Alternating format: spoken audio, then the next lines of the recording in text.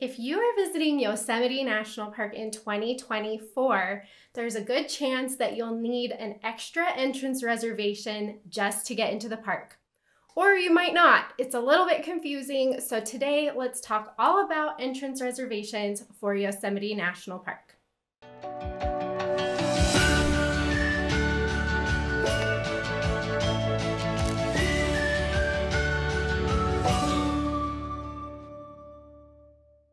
My name is Ash. I'm a former park ranger and the founder of Dirt in My Shoes, and I am an expert at helping you navigate these entrance reservations for the national parks. So today I wanted to talk to you specifically about Yosemite, who needs an entrance reservation, when you'll need one, how to get one. I'll walk you through the live process, crossing my fingers that I can get one on video for you um, to watch that whole process and see what it's like. So Let's jump in and talk all about these Yosemite entrance reservations for 2024. Okay, so what this is and what this entrance reservation does is it gets you into Yosemite during the busiest times of the year. So um, they've gone back and forth. They've had entrance reservations before, then they got rid of them. Now they're bringing them back for 2024. It looks a little bit different this year. Um, I think they made it even more complicated, of course. And so, um, but basically, if you'll be visiting Yosemite National Park, even if you're just driving through the park, even if you don't stop, you're going to need one of these entrance reservations for certain days. So I'll walk you through this. But just know that if you are planning a trip to Yosemite, you'll definitely want to make sure that you either need or don't need one of these reservations because it would be a huge shame to get to the park and not have one and not be able to get in. So let me show you on Yosemite's official website. They have a few different reservations. They have one for February. This video is not about that, although the process is similar. We're talking about these peak hour reservations, which are from April 13th through October 27th. And you can see on here, you'll need a reservation on some days, like April 13th through June 30th. You only need a reservation on Saturdays, Sundays, and holidays. If you're going from July 1st through August 16th, you'll have to have a reservation every day. That's the busiest time of year in Yosemite. And then from August 17th through October 27th, it goes back to the Saturdays, Sundays, and holidays only. And so this is where I feel like it gets really confusing because um, if you're going, let's say you go on a Thursday in June, you don't need one for that Thursday or Friday. But if you're staying till Saturday, then you do need one for that Saturday. So it just gets a little bit confusing, but I'll show you here in a minute when I walk you through the process kind of how to decide which days you need them and make sure that you have what you need. So those are the dates that you'll want to be aware of and I will link this website into the video description so you can jump on over and look at it more in depth. But a couple of other things you'll want to note. Um, these reservations are needed from 5 a.m. to 4 p.m. So if it's a day that needs a reservation, then during those hours you will need to have a reservation to show when you go into through the entrance station. During the reservation process, while you're making these reservations, uh, you'll be able to choose between an all-day reservation or afternoons only. I personally would go for the all day reservation always, just so that you have that flexibility to go in and out of the park no matter what time it is. But if those aren't available, those ones will go first. They'll be the, the hardest ones to get. Then they are offering up some afternoons only. And if you get one of these afternoons only one, then you can only go into the park after 12 p.m on all three days that your reservation is good for. So, and that's another note too. These reservations are good for three days. So, if you get one for a Saturday, it will include Saturday, Sunday, and Monday if a reservation is needed for that Monday if it's a holiday or something. So these are all good for three days, and you don't have to enter on the first day. Um, you you know you have a little bit of flexibility there. It's just whatever dates you reserve. It's good for three days from that day, and you can come and go during the time you reserved. So you don't have to check in any specific time. Um, they did that last time they did reservations. It's not like that this time. So you can reserve one for Saturday, Sunday, Monday and you can show up um, on Sunday, but just know it's still going to expire on Monday. So your three days don't start when you get to the park, your three days start on the actual date that's on your reservation. Now, not everybody needs one of these reservations. There's a few ways around having to have one. Uh, the first is if you have in park lodging reserved. So, if you reserve any of the in park hotels, uh, any of the in park campgrounds, those will count as your entrance reservation. You just need to print out proof of your lodging reservation in the park. You can see a list on the website of places that will count towards this. You'll also notice there's some private lodging. These technically are not in the park, they're on private land, but they do count because you have to drive through the park to get to them. So you can look at those options. Other ways around this is you can get a wilderness permit to go backpacking. You can get a half dome permit to climb half dome. So those are some ways around having to get this reservation. If you already have your lodging set up in the park, you don't even have to worry about it. It counts for the dates that you have your lodging. So keep that in mind as well. I have found with reservation systems, a lot of times it does make sense just for me to book lodging in the park instead of dealing with all this. So if you're lucky enough to have a campground reservation or a reservation at one of the lodges, uh, then you can just bypass the system for the days that you have those reservations. Okay, so how do you get one of these reservations? What you're going to do is go to recreation.gov. That's the website that the National Park Service primarily uses to make reservations. And you'll need to do this seven days in advance of the day that you're hoping to have a reservation in Yosemite. So, what I'm showing you today, actually, they're doing like a grand release. They're releasing dates, all the dates um, for the summer and beyond today. And so I'm going to um, show you how to do that.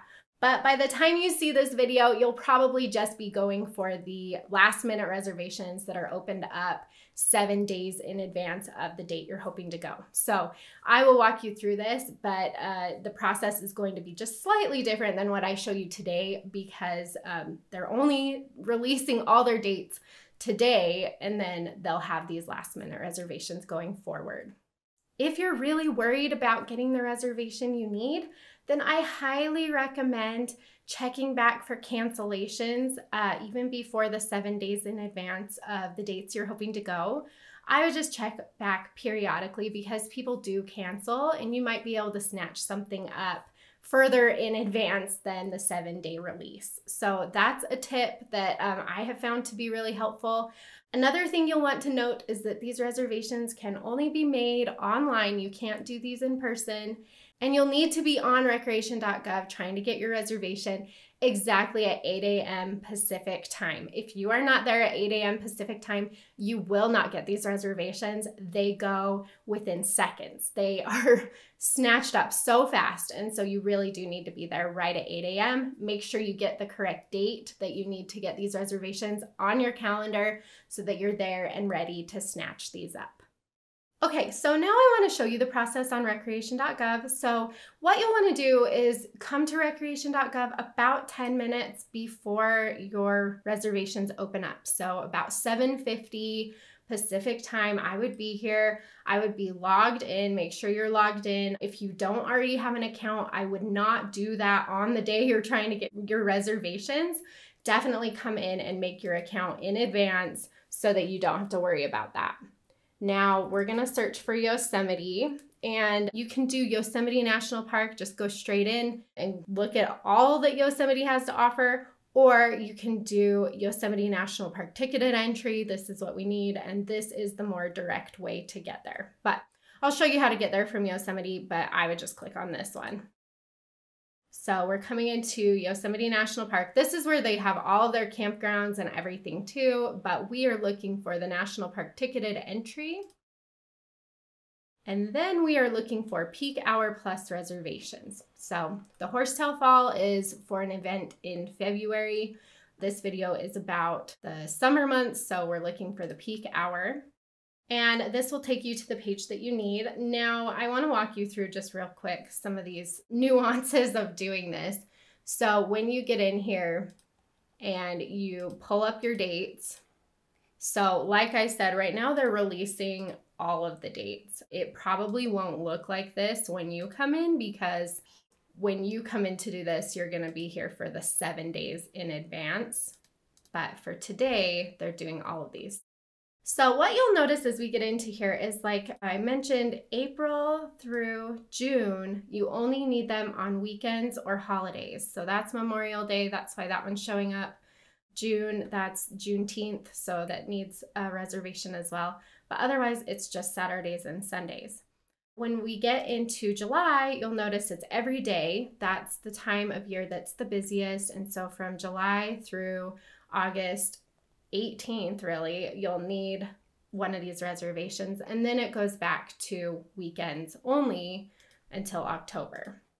So, if you're coming in here and you're trying to plan out which days you'll need reservations, so let's take June for example.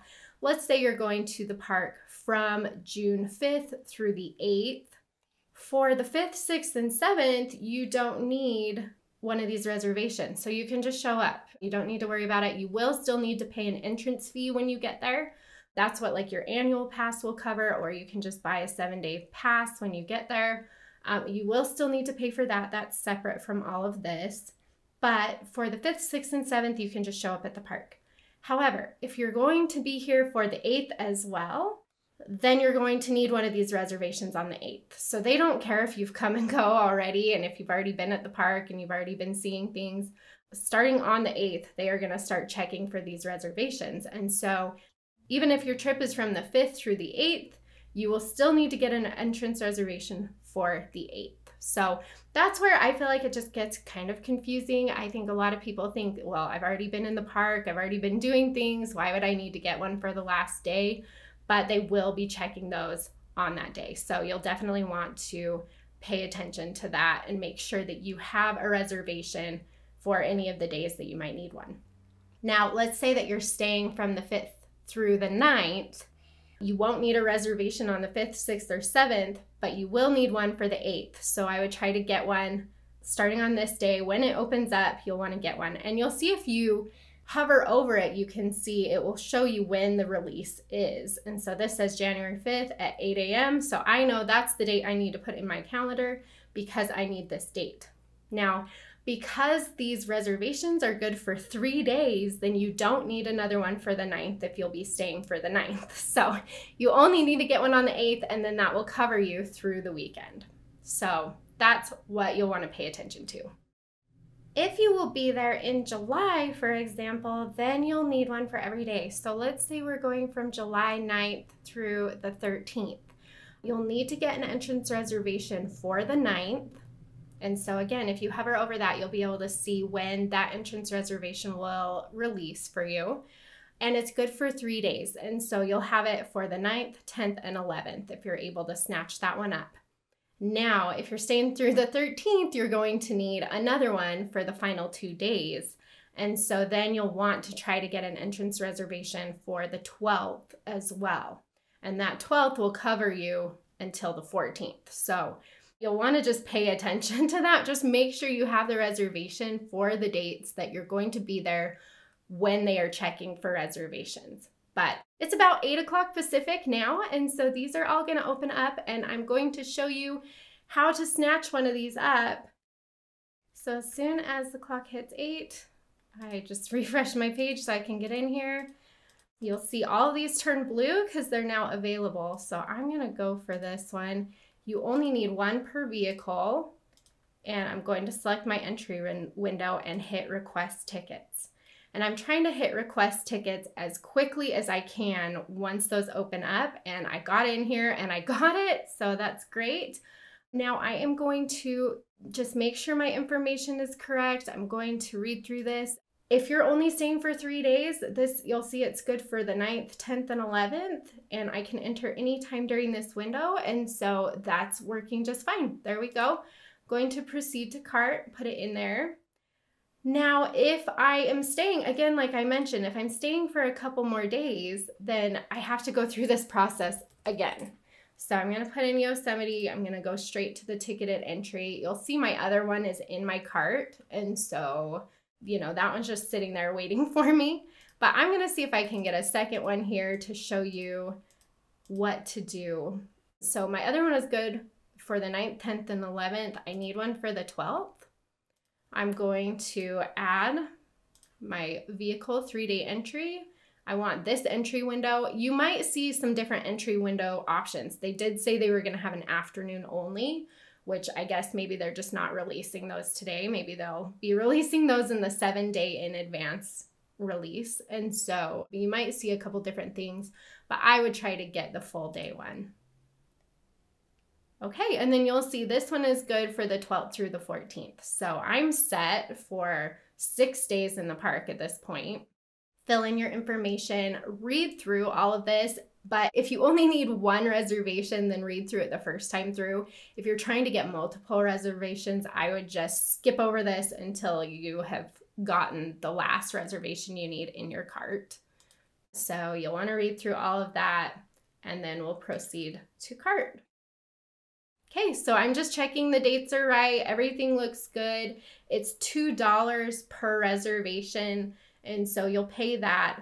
You'll also need to make sure that whoever's name is on this reservation that they will be in the car with you. And so what I like to do because it does get really competitive is have any adult who's going to be in the vehicle go through this process and try to get them because sometimes as especially for the last minute ones as it gets closer you're going to have a really hard time getting those. And so i would make a, an account and try to get these but i would also have my husband who will also be in the vehicle with me make an account and try to get these. And then you know we'll just get rid of the ones if we have extras or anything. But at least we have both of us trying to get them in case it just gets really really competitive so at this point, you'll proceed to payment. You have 15 minutes to finish this process. And then you'll just put in your payment info and finish out the process. You'll get two emails one's a receipt, and one is your actual reservation. So be sure you bring your actual reservation with you to show at the entrance station. That's what they'll be looking at, not the receipt email. So you'll get both, but make sure you bring the reservation one. You can screenshot the reservation email um, and have it on your phone, but I would also bring a paper copy. The Wi Fi, the internet, just it's not super reliable in the national parks. So it is nice to have a paper copy.